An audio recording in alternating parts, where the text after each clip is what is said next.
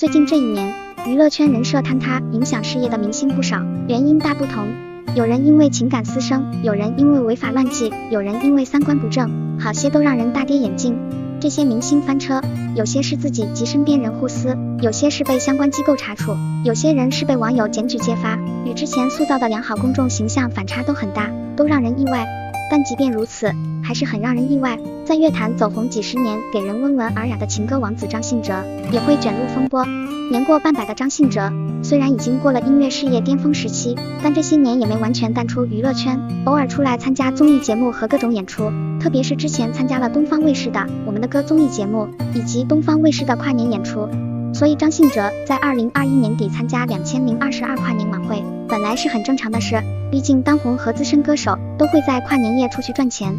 结果就在东方卫视官宣了张信哲参加新年跨年夜演唱会之后，网上却出现了不少网友的质疑，甚至抵制。原因是张信哲代言的某平台的业务被网友指责。本以为刚开始只是一些网友的质疑、举报、投诉，不会引起太大的波澜，没想到后来愈演愈烈，舆论影响很不好。最终，在粉丝的力挺和网友的质疑抵制中，张信哲出来发表声明回应，说明代言合约符合该平台所属地的法律，且仅在当地使用，而且仅合作了一年，已于二零二一年三月终止合作。但即便如此，在网友的抵制投诉后，张信哲即使被官宣参加东方卫视跨年晚会，最终还是没能出现在节目单和晚会播出中。不知道是压根没参加演出，还是录播完成了最终被剪掉了。本以为就这样，张信哲此次代言风波就这样过去了，因为出局了东方卫视跨年演唱会，或许演艺事业会受到较大影响，他会淡出一段时间。但是没想到，在二零二二年初，何炅的新节目《你好星期六》第二期节目中，